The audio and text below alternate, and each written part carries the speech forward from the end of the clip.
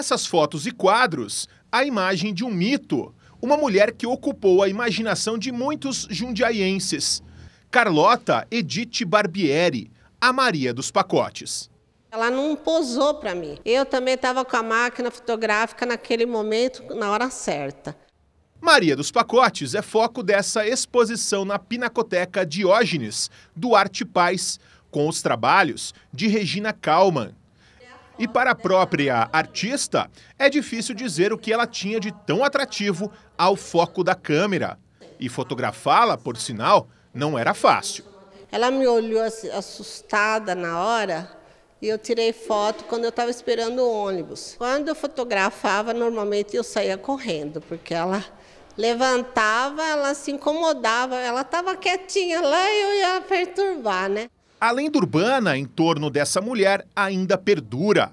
Muita gente se pergunta o que ela carregava nesses pacotes. A história dela é bastante interessante e chama atenção porque todo mundo quer saber o que, que ela tinha, na verdade, uh, nesses pacotes.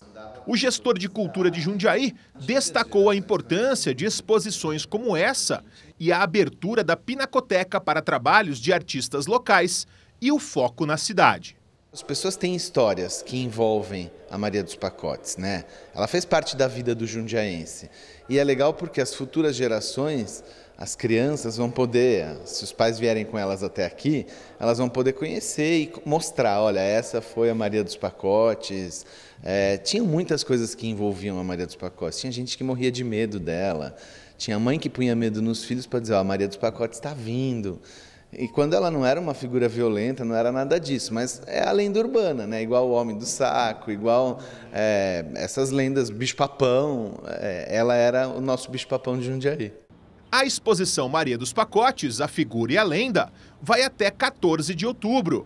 A Pinacoteca Diógenes Duarte Paz fica na rua Barão de Jundiaí, 109, e funciona de terça a sexta-feira, das 10 às 17 horas aos sábados, domingos e feriados, das 9 às 16 horas.